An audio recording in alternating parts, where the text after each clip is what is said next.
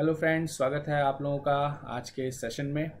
और पिछली बार की तरह, जैसे मैंने एक इंपॉर्टेंट टॉपिक डिस्कस किया था वीकली इंपॉर्टेंट बर्निंग इश्यूज़ जो हैं, उस पर मैंने जैसे डिस्कशन किया था and and that was the relation between India and China and China and Bhutan उस पर जो मैंने बहुत अच्छे से डिस्कशन आपको किया था, आप लोगों का काफ़ी सपोर्ट मिला उस पर and that's why I am continuing the next topic and for this week I have chosen the topic that is Rewa ultra mega power Project and which is one of the most important uh, topic for the candidates who are preparing for UPSC, PSC, any state PSC or any other uh, SSC like exams.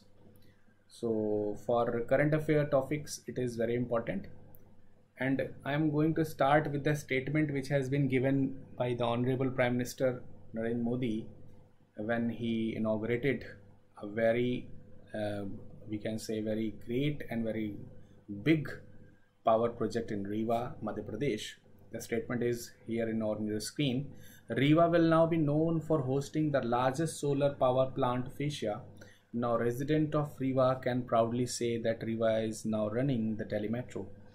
With the new initiatives, the area will become the hub of green energy. So so, इस topic में ऐसा क्या है? ये जो यहाँ पर quotations हैं ऐसे कोटेशंस जो है वो मिस्टर जो नरेंद्र मोदी जी हैं ऑनरेबल प्राइम मिनिस्टर हैं इन्होंने ऐसे स्टेटमेंट्स क्यों दिए हैं इसके अनाग्रेशन के टाइम पे? So we will discuss in this topic so hello I am Virad and welcoming to you all in this show आप हमें जो है प्लस uh, एजुकेटर के रूप में अन अकेडमी पर भी देख सकते हैं and you can follow me there and as well I am on your YouTube channel Selection Mentor, your GS and GN Hindi mentor as well. आप में से किसी को किसी प्रकार के अगर कोई भी कांटेक्ट करना है कोई जानकारी लेनी है किसी प्रकार की काउंसलिंग चाहिए आपको कोई यानी सपोर्ट चाहिए फॉर एजुकेशन तो आप मुझे इन नंबर्स पर कांटेक्ट कर सकते हैं the are the number eight nine five three five nine five six eight seven and other one is nine one two one eight one five eight six nine simply this is the most important thing if you are preparing for UPSC, PSC and uh, SSC's exams. Um, you are looking my videos on selection mentor and but you also can follow me on an academy. So it is very important for those candidates who are preparing for these exams. What is important here that is कि हम यहाँ पर आप लोगों को free course provide करा रहे हैं और अन अकेडमी के प्लेटफॉर्म पे आप लोगों को फ्री कोर्सेज प्रोवाइड कराएँगे। फ्री में आप लोगों का सिलेक्शन करवाएँगे, तैयारी करवाने का पूरा प्रयास करेंगे। एंड अगर ऐसी कोई पे करने की बारी आती भी है तो आपको बहुत लिटिल अमाउंट पे करना पड़ेगा। इसके लिए आपको बिल्कुल परेशान होने की ज़रूरत नहीं है। If any candidate subscribes my Unacademy plus course should should use the code VIRA10 to get 10% instant discount. And for more discount, this is, this banner is on your screen. You again contact me on this number for the more details. So, आज आज की topic की तरह हम शुरुआत करते हैं और आज का टॉपिक जो है वो शुरू होता है सौर ऊर्जा प्लांट से। तो सौर ऊर्जा प्लांट से अगर हम इसको शुरू करना चाहते हैं तो सबसे पहली तो बात यहाँ पर ये आती है कि सौर ऊर्जा है क्या? ये एक प्रकार की नवीकरण ऊर्जा का स्रोत है, जिससे वातावरण में प्रदूषक कारकों में भारी कमी आती है। एक्चुअली हम लोग के पास में रिन्यूएबल एनर्जी के सोर्सेज जो है वो बहुत ज़्यादा नेचुरली हैं, और बहुत ज़्यादा, बहुत सारा, बहुत सारे हैं बट हम उसका यूज़ जो है वो वाइडली नहीं करते हैं। वाइडली हम लोग जो जीवाश्म ईंधन है, जिसको हम लोग फॉसल फ्यूल्स कह सकते हैं, लेकिन वो बहुत ज़्यादा प्रदूषण कारक होते हैं उसमें कार्बन डाइऑक्साइड सल्फ़र और तमाम सारे जो जो इन्वामेंट को पोल्यूट करने वाले जो पोल्यूटेंट्स हैं, वो यहाँ पर रिलीज़ होते हैं। तो the very big thing is that कि हमारा जो ये जो सोलर प्लांट होता है, इससे हमको जो है प्रकृति में किसी प्रकार के प्रदूषण को, प्रदूषक कारक जो तत्व हैं, उनको रिलीज़ करने से मुक्ति मिलती है। अब नवीकरण शब्द का यहाँ पर प्रयोग किया गया था। सबसे पहले हम देख लेते हैं कि नवीकरण शब्द का मतलब क्या था। नवीकरण का मतलब होता है रिन्यूएबल एनर्जी रिसोर्सेज का मतलब यहाँ पर क्या है? ऐसी एनर्जी रिसोर्सेज जिनको हम दोबारा से पा सकते हैं। और मुख्य बात यह है कि ये नेचुरल होते हैं, प्राकृतिक स्रोतों पर होते हैं। जैसे कि ऊर्जा जैसे कि सौर ऊर्जा है, भूतापी ऊर्जा है, पवन ऊर्जा, जल ऊर्जा biomass these are the examples of this renovation energy sources नवीकरण ऊर्जा के स्रोत के एग्जाम्पल्स हैं। और सबसे बड़ी बात यह है कि इनको आप कितना भी यूज़ कर लीजिए हाँ हिंदी में एक बहुत ही अच्छा शब्द इसके लिए प्रयोग होता है दैट इज़ अक्षय ऊर्जा। मतलब ऐसी ऊर्जा जो क्षय नहीं होती है। आप सूर्य की रोशनी कितनी भी ले लीजिए, सूर्य से कोई फ़र्क नहीं पड़ने वाला। समुद्र से कितना भी पानी ले लीजिए नदियों से कितना भी पानी लीजिए, कोई फ़र्क नहीं पड़ने वाला है। तो आप कितनी भी हवा का इस्तेमाल कर लीजिए, प्रकृति में इन सब की भरपूर मात्रा है। ये रिन्यूएबल एनर्जी के सोर्सेज के अंतर्गत आते हैं। लेकिन इनसे इनसे जो है एनर्जी पैदा करना लाइट इलेक्ट्रिसिटी एट्सेट्रा जनरेट करना, ये काफ़ी ज़्यादा कह सकते हैं कि बहुत खर्चीला भी होता है और बहुत कठिन भी होता है, पर धीरे धीरे इसको सुगम बनाए जाने का प्रयास किया जा रहा है। सबसे बड़ी बात यह है कि ये जो अक्षय ऊर्जा होती है, पर्यावरण के अनुकूलन होती है। आर्थिक लाभ भी इससे होता है लोगों को आ, कह सकते हैं कि रोज़गार भी मिलता है ये सब चीज़ें भी होती हैं। और तमाम सारे जो पोल्यूटेंट्स होते हैं जो ग्रीन हाउस कारक जो तत्व होते हैं उनको उनके मतलब कह सकते हैं कि रिलीज़ होने से बचाया जा सकता है इससे स्वास्थ्य पे काफ़ी फ़र्क पड़ता है। तो ये तो अक्षय ऊर्जा के बारे में इंपॉर्टेंट आपका इंट्रोडक्शन हो गया। भारत में नवीनीकृत जो ऊर्जा की स्थिति है वो प्रेजेंट टाइम में क्या है किस तरीके की है उसके ऊपर ज़रा एक बार डिस्कशन कर लेते हैं क्लोजली देखते हैं यहाँ पर। 10 अक्टूबर 2019 की नवीन एवं नवीकरणीय ऊर्जा मंत्रालय, ये आपको ध्यान रखना है, नवीन एवं नवीकरणीय ऊर्जा मंत्रालय, ये आपको भारत की, भारत सरकार की वेबसाइट पे भी दिखाई दे जाएगा पीआईबी ऑफ़ इंडिया की वेबसाइट पर भी जा करके आप इसको देखेंगे तो दिख जाएगा कि आंकड़ों के अनुसार सितंबर 2019 के अंत तक भारत में बयासी मेगावाट नवीकरण ऊर्जा क्षमता की स्थापना की जा चुकी है। तो ये एक इंपॉर्टेंट फैक्ट है कि सितंबर 2019 के एंड तक 82,580 मेगावाट की जो एनर्जी है वो उसकी जो क्षमता है उसको बनाया जा चुका है और इकतीस हज़ार एक सौ पचास मेगावाट की क्षमता स्थापित करने मतलब करने वाले हैं। उसको डिफरेंट डिफरेंट जो स्टेजेस हैं उसमें किया जाएगा। और यहाँ पर बात हो रही है कि स्वच्छ पृथ्वी के प्रति ज़िम्मेदारी को ध्यान में रखते हुए भारत ने संकल्प लिया है, यानी भारत सरकार ने संकल्प लिया है कि 2030 तक बिजली उत्पादन की हमारी 40 फ़ीसदी स्थापित क्षमता से स्वशोध पदार्थ होगी यानी कि यहाँ पर एक सिंपल सी बात कही गई कि by to the forty percent of total electricity will generate from the renewable energy energy sources so it is a very important thing कि अगर ऐसा हो पाता है just within ten years we are going to use almost और we can say fifty forty to fifty percent of the total energy from renewable energy sources right बस यहाँ पर एक इंपॉर्टेंट पॉइंट लिखी है 2022 तक 175 गीगा वॉट नवीकरण ऊर्जा का स्थापना करने का लक्ष्य रखा गया है। अब ये जो 175 गीगा वॉट का जो ये जो लक्ष्य रखा गया है, इसमें से thousand gigawatt sorry hundred gigawatt जो है, ये आपका सोलर एनर्जी से प्राप्त होगा। सोलर एनर्जी से। And rest of seventy five जो गीगा वॉट है in which sixty gigawatt will come from I can say पवन ऊर्जा जो है, पवन ऊर्जा। इससे मिलेगा राइट उसके बाद अलावा अगर हम देखते हैं तो टेन गीगा वॉट जो है, वो हमें एनर्जी मिल सकती है आपके ये बायो पावर से बायो पावर बायो पावर ठीक है? And five rest of five giga जो है, उसके लिए अगर हम जो छोटे छोटे पन बिजली वगैरह होती हैं इनको आप पन बिजली कह सकते हैं, ठीक है? पन बिजली, ठीक है?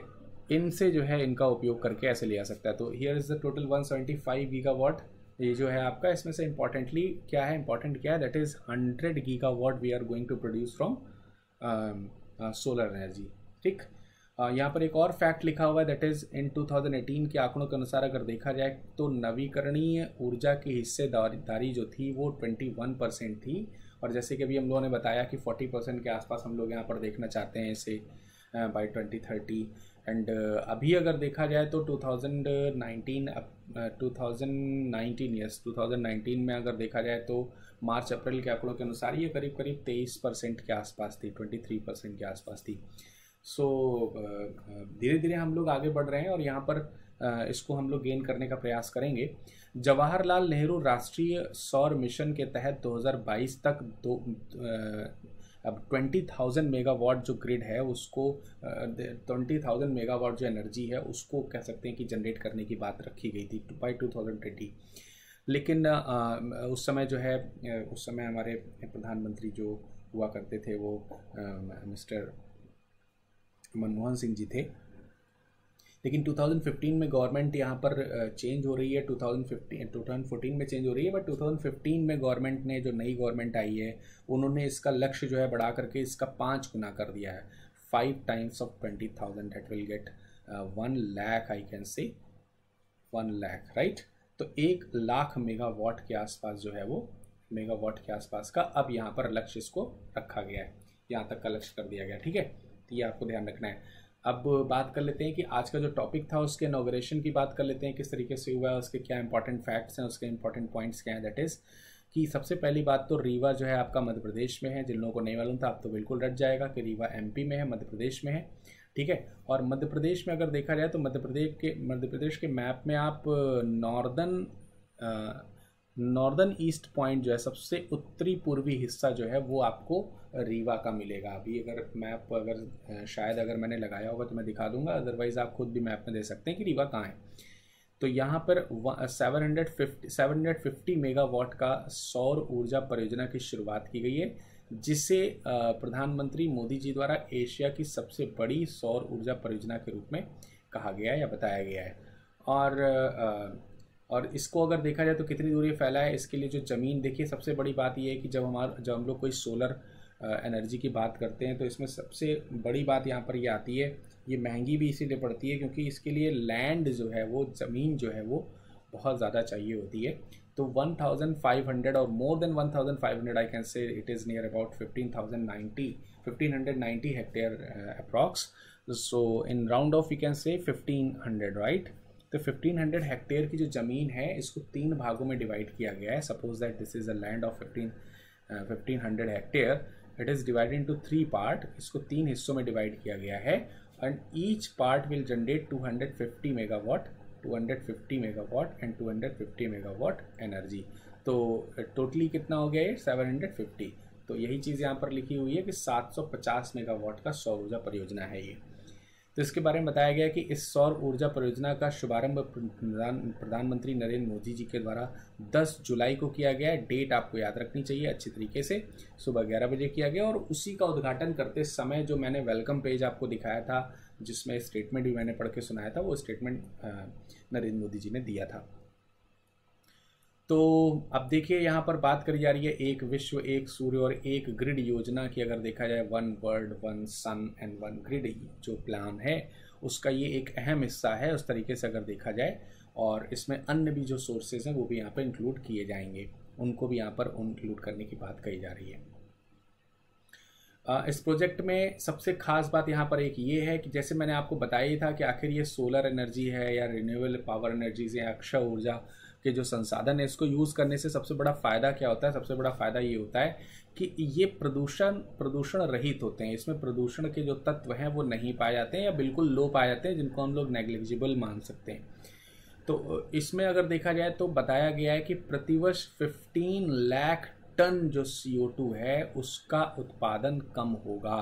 तो आप समझ सकते हैं कि ये हमारे इन्वामेंट को कितना ज़्यादा लाभ पहुँचा सकता है, अगर इस तरीके की चीज़ों को हम मोटिवेट करते हैं या आगे और ज़्यादा लाने का प्रयास करते हैं तो तो पीएम मोदी के अनुसार रीवा में, रीवा ने एशिया का सबसे बड़ा सोलर पावर प्रोजेक्ट बनाकर इतिहास रचा है और, उन्होंने कुछ अच्छी शब्द भी कहे थे, जैसे कि आपको मालूम होना कि रीवर जो है वो रीवा जो है वो नर्मदा नदी के किनारे जो है पड़ता है और नर्मदा नदी, नर्मदा को जैसे हम लोग गंगा को माता के रूप में पूछते हैं, वैसे नर्मदा को भी वहाँ पे माता के रूप में पूजा जाता है। और सबसे बड़ी बात रीवा जो है, वो सफ़ेद शेरों के लिए प्रसिद्ध है। ये भी अपने आप में जो है वो आपको एक इंपॉर्टेंट पॉइंट पता चल जाता है।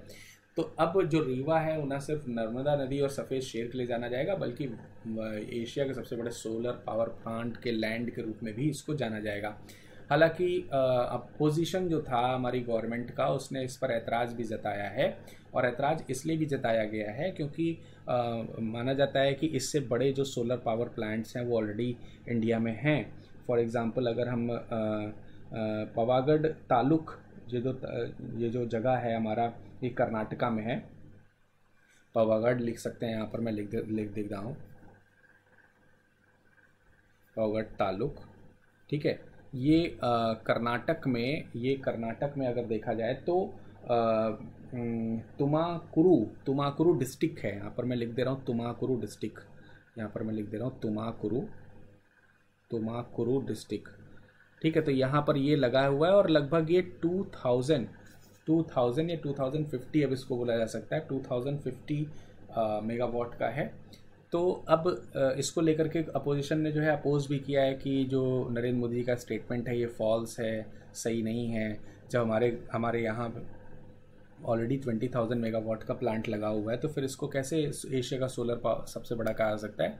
तो क्लैरिफिकेशन गवर्नमेंट ऑफ़ इंडिया की तरफ़ से कुछ लोगों ने दिया है, पॉलिटिशियंस ने दिया है दैट कि ये जो है एशिया का सबसे बड़ा, अगर ये, इसकी अगर हम बात करते हैं तो ये निश्चित रूप से अगर देखा जाए तो ये जो पावरगढ़ है ये सोलर पावर प्लांट है राइट और जो इन्होंने जो जो इनाग्रेशन किया ये सोलर पावर प्लांट नहीं है सोलर पार्क है ये। ये क्या है? सोलर पार्क ठीक है? तो ये आपको ध्यान रखना है ये सोलर पार्क है और सोलर पावर प्लांट है। ऐसा करके उनको डिफ्रेंशिएट करने की बात करी गई है।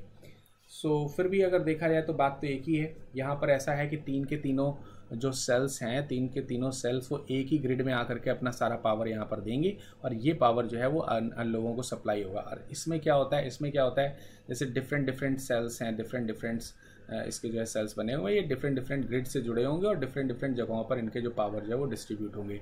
तो here is a difference between Rewa power plant and the Karnataka power plant and others right तो इसका भी आपको थोड़ा सा ध्यान रखना है कि पॉलिटिकल इश्यूज़ हुए थे इसके लेकर के। अब इस प्रोजेक्ट को खरीदेगा कौन? ये जो प्रोजेक्ट है, इससे जो एनर्जी आएगी, इस एनर्जी को किसको सेल किया जाएगा? कौन इसका पार्टिसिपेंट है? कौन इसे खरीदेगा? तो मोस्ट इंपॉर्टेंट थिंग है, ज़्यादातर जो ज़्यादातर जो सोलर पावर प्रोजेक्ट्स बनते हैं, वो जिस स्टेट में होते हैं, जिस स्टेट में होते हैं मोस्टली उसी स्टेट के ही यूज़ में आते हैं, उसी स्टेट के जो प्रोजेक्ट्स होते हैं, उनके यूज़ में आते हैं, उनकी एनर्जी क्योंकि दूसरे स्टेट्स में वैसे ही ये सब चीज़ें कम उत्पन्न होती हैं तो अपने स्टेट के लिए लोग करते हैं। लेकिन यहाँ पहली बार ऐसा हो रहा है कि किसी स्टेट में इसको रीवा यानी कि एमपी में है और एमपी के द्वारा दिल्ली मेट्रो चलाई जाएगी। ये आपको यहाँ पर ध्यान रखना है। इंपॉर्टेंट चीज़ है कि पहली बार किसी दूसरे राज्य के लिए इसको दिया जा रहा है। लिखा दिल्ली मेट्रो सहित राज्य के बाहर संस्थागत ग्राहकों को की आपूर्ति करने वाली पहली अक्षय ऊर्जा परियोजना रीवा पावर प्रोजेक्ट है। ठीक है, रीवा पावर प्रोजेक्ट पहली ऐसी परियोजना है जो राज्य के बाहर भी किसी संस्था को, संस्था के रूप में जो ग्राहक है, उसको ये पावर प्रोजेक्ट देने उसको ये एनर्जी सेल करेंगे। तो कितना सेल करेंगे? अगर 100 परसेंट यहाँ पर जो जनरेट हो रहा है, उस 100 परसेंट का 24 percent will get hundred percent में से 24 परसेंट जो है इट विल बी अराउंड हाँ ट्वेंटी फोर परसेंट है। यस करेक्ट है। ट्वेंटी फोर परसेंट जो है, ये आपका डेली मेट्रो को मिलेगा। डेली मेट्रो डीएमआरसी कह सकते हैं आप उसको। Delhi metro rail corporation and rest of seventy six percent जो है, वो यो, जो आपका मध्य प्रदेश गवर्नमेंट है, इसको यूज़ करेगी। ठीक है? मध्य प्रदेश की जो भी वितरण कंपनियाँ हैं, उसमें दिया जाएगा इसको। तो इसका जो रेशियो यानी कि डिस्ट्रीब्यूशन का जो रेशियो है that is twenty four is to seventy six right इसका पूरा अगर देखा जाए कि किसने इसको डेवलप किया है कौन कौन से लोग इसमें पार्टिसिपेंट्स के रूप में हैं, अगर उसके बारे में बात कर ली जाए तो यहाँ पर लिखा हुआ है Rewa ultra mega power solar mega solar limited that is R U M S L ठीक है? R U M S L ने इसको डेवलप किया है सोलर सोलर पावर प्लांट को R U M S L ने डेवलप किया है, या प्लांट कह सकते हैं आप इसको जैसा कि शब्द का यूज़ किया गया है कि ये जो है पार्क है तो इसका यूज़ किया गया है। ठीक है? और इसमें कौन कौन से लोगों की भागीदारी है? किसकी किसकी किस किस कंपनी की भागीदारी है? तो दो कंपनी है, मध्य प्रदेश ऊर्जा विकास निगम लिमिटेड। ये आपको ध्यान रखना है, मध्य प्रदेश ऊर्जा विकास निगम लिमिटेड, यानी Madhya Pradesh energy development corporation limited. एक तो ये है, दूसरा कौन सा है? दूसरा है solar energy corporation of India यानी कि एक आपका मध्य प्रदेश का है और एक आपका जो है वो सेंट्रल गवर्नमेंट का है और दोनों का फिफ्टी फिफ्टी परसेंट जो है वो स्टेक है इसमें अगर देखा जाए। ठीक है? इसमें दोनों का स्टेक कितना है? स्टेट और यूनियन का जो स्टेक है स्टेट और यूनियन का जो स्टेक है that is a fifty fifty percent तो आपको ये भी ध्यान रखना है कि ये जो प्लांट है, ये सेंटर स्टेट रिलेशंस को भी यहाँ पर रिप्रेजेंट कर रहा है, उनके पार्टिसिपेशन को भी रिप्रेजेंट कर रहा है। जिसमें से अगर केंद्र सरकार की अगर हम बात करते हैं ये केंद्र सरकार जो है हाँ जो central government has invested 138 crore ठीक है? तो एक सौ अड़तीस करोड़ रुपए जो है आरयूएमएसएल में केंद्र सरकार की ओर से लगाया गया स्पार्क को बनाने के लिए। तो this one is the most important point I think कि आपको इसको ध्यान रखना है। दिस इज़ 138 करोड़ रुपीज़ जब ये पार्क डेवलप हो चुका है, अब ये राष्ट्र को समर्पित हो चुका है तो अब इसमें जो एनर्जी है, वो किस प्रकार से? अभी देखिए, यहाँ पर लिखा है, पार्क के विकसित होने के बाद, यहाँ पर नाम याद रखना है, Mahindra renewable private limiteds and M C M E Jaipur solar power private limited and Arinsun clean energy private limited को जो R U M S L है इसने क्लीन एनर्जी पार्क के अंदर 250 मेगावाट की तीन उत्पादक इकाइयों के विकास के लिए रिज़र्व ऑप्शन के माध्यम से चुना है। तो वो जो तीन मैंने आपको हिस्से बताए थे कि 250, 250, 250 मेगावाट की यहाँ पर एनर्जी रिलीज़ करी जाएगी या उत्पन्न करी जाएगी तो वो कौन कौन सी कंपनियाँ करेंगी इसकी जो है बिड लगाएगी और इस बिड में जो है वो तीन कंपनीज़ का सिलेक्शन हुआ है। तो पहली कौन सी है? Mahindra Mahindra renewable private limited. दूसरी कौन सी है आपकी? दूसरी है दूसरी है आपकी A C M E A C M E Jaipur solar power private limited, ठीक है? एक तो ये है, और तीसरी आपकी कौन सी है? तीसरी है Arinsun clean energy clean energy private limited, ठीक है? तो ये तीन कंपनीज़ हैं जो इस तरीके से ये जो प्रोडक्शन है, इसको करेंगी, इसका प्रोडक्शन करेंगी। इनको चुना गया है, ठीक है? अब यहाँ पर एक पॉइंट यहाँ पर आया हुआ है। या फिर मैं आगे लिखा हुआ है, शायद यहाँ पर लिखा है, यस, यहाँ पर लिखा हुआ है। इस परियोजना में क्लीन टेक्नोलॉजी फंड के तहत भी कुछ पैसे जो है वो मिले हैं, जो कि वर्ल्ड बैंक की तरफ़ से आए हैं that is around arounding exactly four hundred and forty million dollar it comes around two thousand and eight hundred crore Indian rupee right तो इतने रुपये का इन्वेस्टमेंट जो है वो क्लीन टेक्नोलॉजी फंड की तरफ़ से भी किया गया वर्ल्ड बैंक के द्वारा। तो अब बात आती है कि ये क्लीन टेक्नोलॉजी फंड क्या है? क्लीन टेक्नोलॉजी फंड को देख लेते हैं। तो वर्ल्ड बैंक के अंतर्गत फाइनेंशियल इंटरमीडियरी फंड्स हैं कई सारे, उसमें से एक है क्लीन टेक्नोलॉजी फंड और क्लीन टेक्नोलॉजी फंड के अंदर भी दो तरीके के फंड्स आते हैं। उन दो तरीके के फंड्स में बेटा एक तो होता है क्लीन टेक्नोलॉजी फंड और दूसरा होता है स्ट्रेटजिक क्लाइमेट फंड ठीक है? तो जो क्लीन टेक्नोलॉजी फंड है, ये उन कंट्रीज़ को दिया जाता है जो डेवलपिंग कंट्रीज़ हैं।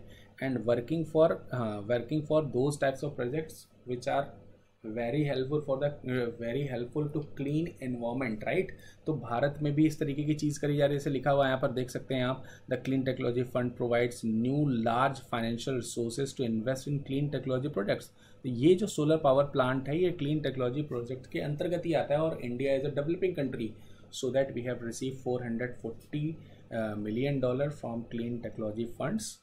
Through World Bank. This is one other um, important fact. 2017 में सोलर प्रोजेक्ट टैरिफ अच्छा यहाँ पर एक चीज़ और ध्यान रखनी है कि जो सोलर जो सोलर जो एनर्जी है ना या सौर ऊर्जा से मिलने वाला जो ये भाग है ये काफ़ी ज़्यादा महँगा होता है और इसी वजह से ये हैंडी नहीं है या हम यूँ कह सकते हैं कि बहुत यूज़ टू नहीं होते हैं हम लोग इसके तो 2017 में अगर देखा जाए तो इसकी पर यूनिट की जो दर थी that was 4.50 point rupees per unit इतनी थी लेकिन ये जब से रीवा प्रोजेक्ट लगा हुआ है और एक साल के अंतर्गत अगर इसको देखा जाए तो इसने रिड्यूस किया है टू इसको जो है, इस खर्चे को रिड्यूस किया है two point nine seven per unit की दर पे इसका टैरिफ जो है आ रहा है। तो पहले से काफ़ी सस्ता हो गया है। तो सस्ता है तो जब सस्ता होगा तभी तो हम इसका ज़्यादा यूज़ करेंगे, तभी ज़्यादा यूज़ करेंगे तो प्रोडक्शन ज़्यादा होगा और जो इन्वामेंट है वो क्लीन होने में सहायता मिलेगी। नहीं तो carbon generating fuels and greenhouse generating fuels जो है वो बहुत ज़्यादा दिक्कत करते हैं।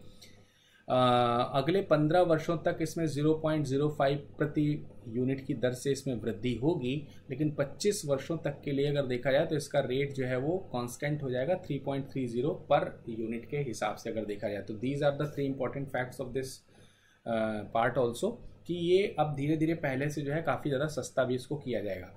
अच्छा यहाँ पर एक बात और भी है कि यह ग्रिड समता अवरोध, यानी कि ग्रिड पैरिटी बैरियर को तोड़ने वाला देश का पहला सौर परियोजना है। अब ये ग्रिड पैरिटी बैरियर क्या है?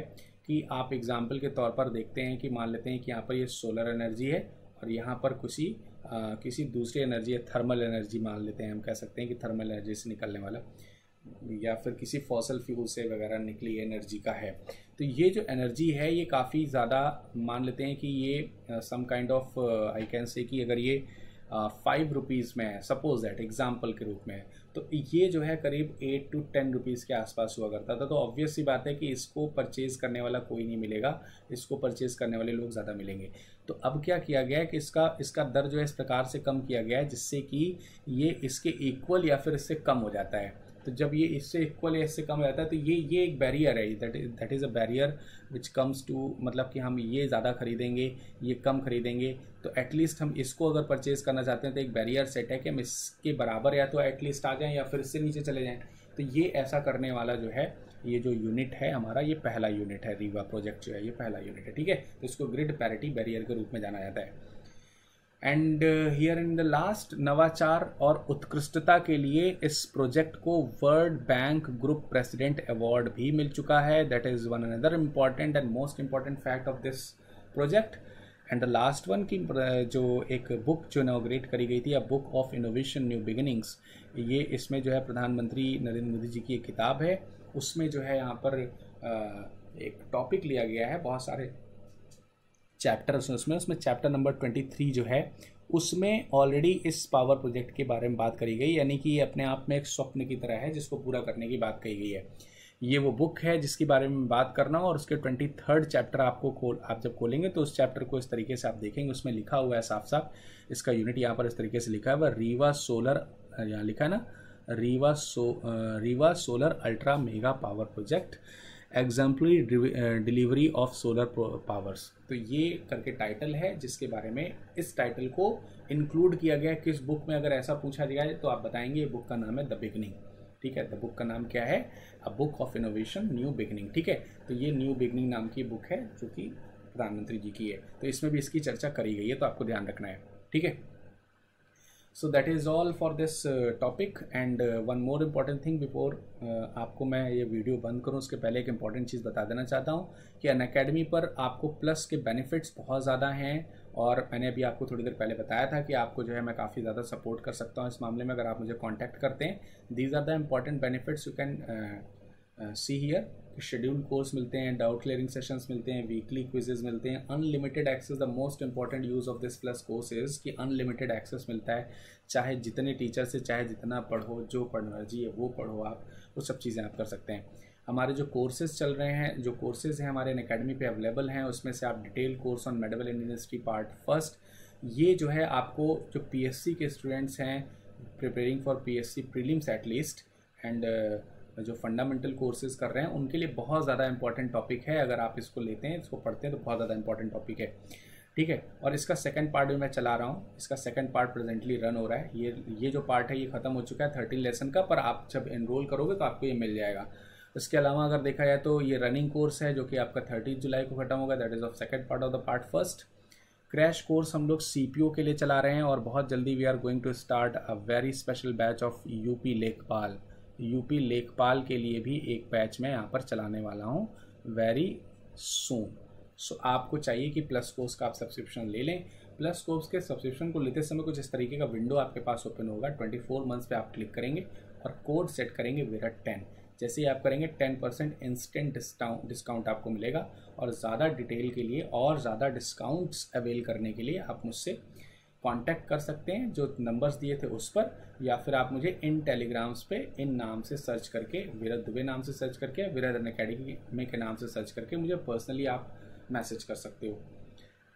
ठीक है तो thank you for watching this video I think कि आप जो है इसको लाइक करेंगे शेयर करेंगे, और हमारे चैनल को अगर अभी तक आपने सब्सक्राइब नहीं किया तो आप इसे सब्सक्राइब ज़रूर करेंगे। और दोस्तों, अगर आपको किसी प्रकार का कोई डाउट है, कुछ पूछना है, कुछ क्रॉस क्वेश्चन हैं please do a comment in a comment section. Thank you and have a nice day ahead.